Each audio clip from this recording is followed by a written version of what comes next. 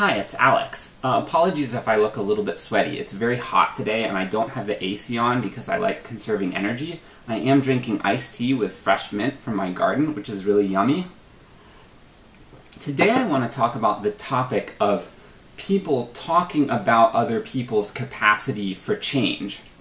This is something that comes up a lot during arguments. I hear people say things like, oh, you know him, he's just like that sometimes I hear people make generalizations about whole groups of people. Like, someone might say, oh, you know women, they're just like this, or you know how men are.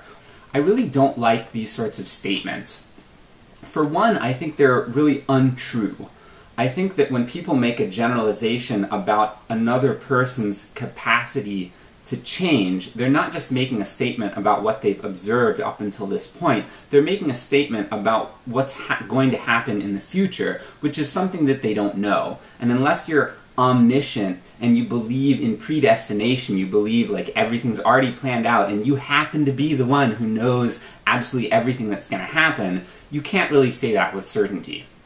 I've known people who have held certain viewpoints for a really long time and then all of a sudden they change. Like an example would be my dad. My dad voted Republican for a number of years, and then George W. Bush came along, and he was really unhappy with some of the policies of George W. Bush, and he changed his voting pattern. He started voting for Democrats.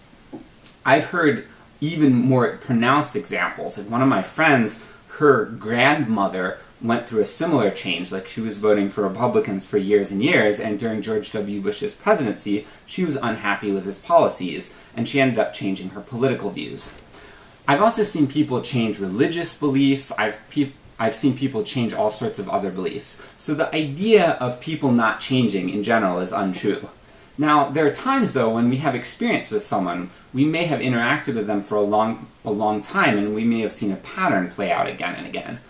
One thing I want to call on people to do when they're talking about someone else and they're talking about their experiences with someone, I think it's better to make a statement about your past experiences rather than to make a statement about what someone is capable of in the future. So, for example, I might say, Oh, I've tried talking about this person a number of times and they've always said the same thing to me.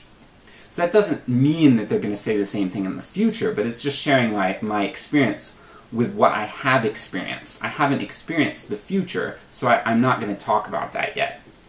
One reason I like focusing on what we actually have observed is that I think that when we make a statement about someone being incapable of change, we risk that becoming a self fulfilling prophecy. Like, if I go to talk to someone and I believe that that person is not capable of change, I'm going to approach them in a different way than if I believe that person is a dynamic person who is capable of change and growth and learning and development and such.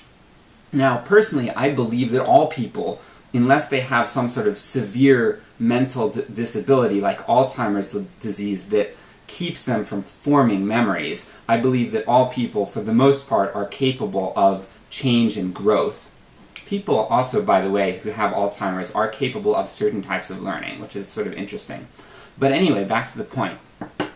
If I believe that people are capable of change, I will be able to draw that out of them. I'll be more likely to talk to them in a respectful manner.